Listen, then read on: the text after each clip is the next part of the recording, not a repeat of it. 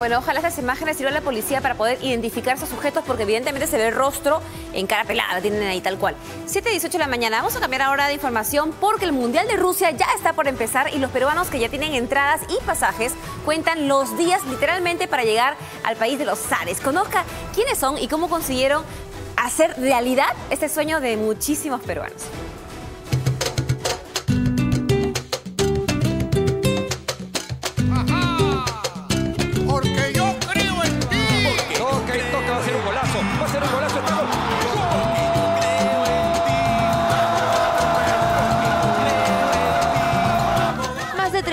Millones de peruanos. Seguramente esperábamos cumplir el sueño de acompañar a la selección en su regreso al Mundial, pero solo algunos podrán hacerlo realidad. Conozca a los hinchas de la blanquirroja que lo dejarán todo por llegar a Rusia siguiendo los pasos de nuestros mundialistas. La pelota en el área. Aquí puede estar.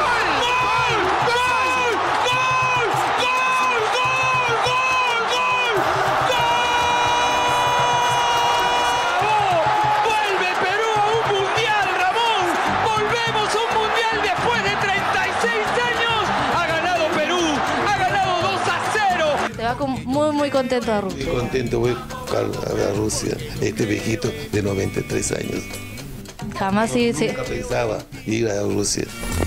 Perú campeón, Perú campeón. Es el grito que repite la afición. Perú Don Wenceslao Ferro Hidalgo tiene 93 años y es sin duda el hincha más longevo que alentará a Perú en Rusia. Nunca imaginó ver a la selección regresar a un mundial y mucho menos tener la oportunidad de viajar 12.650 kilómetros para mezclarse en la barra, aunque su sueño es mucho más ambicioso. Y si se encuentra por ahí afuera del estadio con alguno de ellos y tal vez se toma una foto, Ojalá que Dios me diga que me va a ver cuatro días con él, con cariño y tenerlo en mi cuadernito es- a esos jugadores.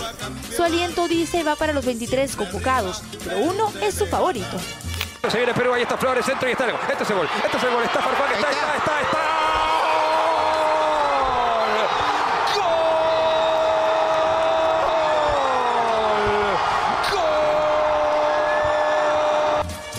¡Gol! hincha de la U no puede evitar tener como ídolo a Raúl Ruiz Díaz, a quien admira tanto como antes hacía con Lolo Fernández.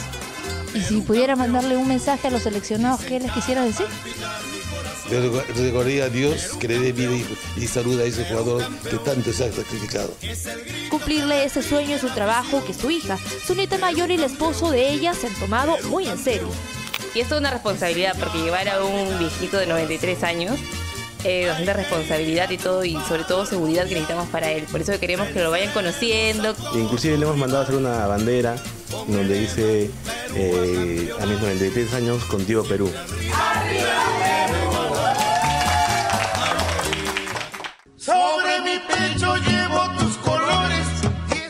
De ayudarlo a llegar a Rusia fue de su familia, futbolera y amante de la blanquirroja, aunque convencerlo no fue tarea difícil. Bueno, la verdad es que como yo me enteré que ellos dos iban a ir, mi sobrina y Carlos iban a ir, este, yo le dije a papá, este, bueno, papá, hagamos realidad tus sueños, ¿no? Vamos, ¿te animas?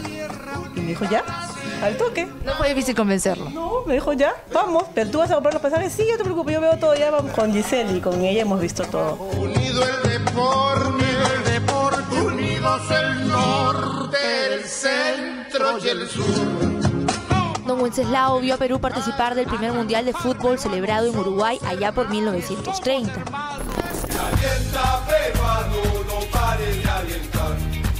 Pero hay quienes por primera vez verán a nuestra selección ser parte de esta fiesta. Eric Gámez es uno de ellos y como hincha fiel de la selección, llegar a Rusia era una obligación.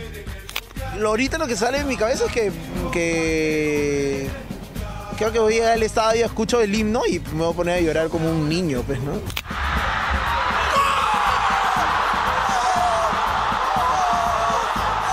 Gritó los goles de clasificatoria a ras de cancha y hasta consiguió guardar para el recuerdo un pedazo de la red del arco del histórico partido con Nueva Zelanda con el que entramos al Mundial. Eric jamás ha viajado al extranjero, pero lo hará ahora por primera vez gracias a la blanquirroja. En casa la noticia los tomó por sorpresa.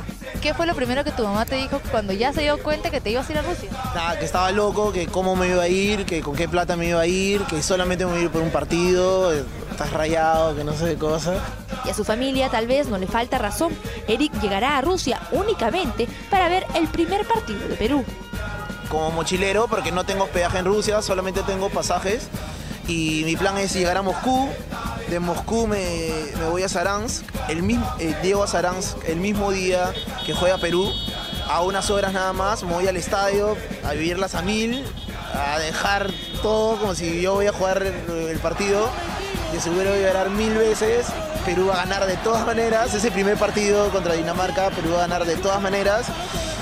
Y de ahí, no sé, no voy a querer dormir nunca. No voy a, no voy a querer despertar, pues, ¿no? De, de- de ese sueño. ¿Crees? Es un sueño, es ver a, ver a, ver a Perú en el Mundial, ¿no? Su papá y su abuelo le enseñaron a amar a la selección y aunque ellos no podrán acompañarlo al Mundial, él los tendrá muy presentes. Está lleno de representación de ellos. Sí, claro, de todas maneras. eh, estoy pensando hacer un poll, algo con, con Gámez, no sé, algo de hincha.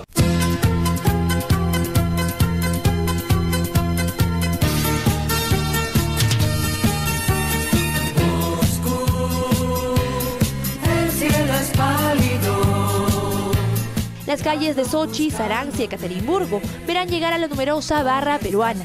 Nuestros compatriotas saben que estarán lejos de casa, por eso en redes sociales un movimiento especial ha surgido. Somos Rusia es el nombre de este grupo de Facebook que ya tiene más de 2.000 miembros que viajarán a la tierra de los Ares y que a diario intercambian datos y consejos mundialistas.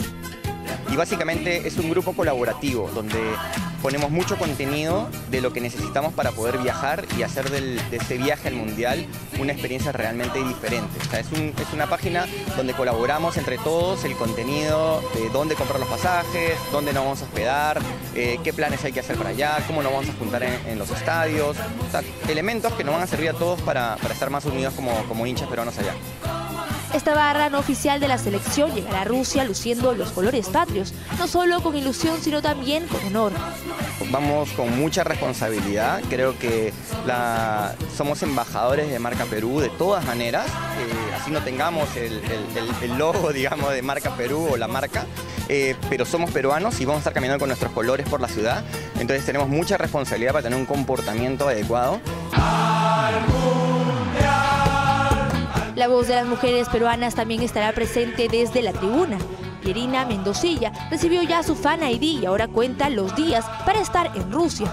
Estuvo en el estadio el 15 de noviembre cuando Perú logró clasificarse al Mundial y se prometió que llegaría para alentar hasta Rusia. Finalmente convenció a su hermano y a sus papás para aventurarse.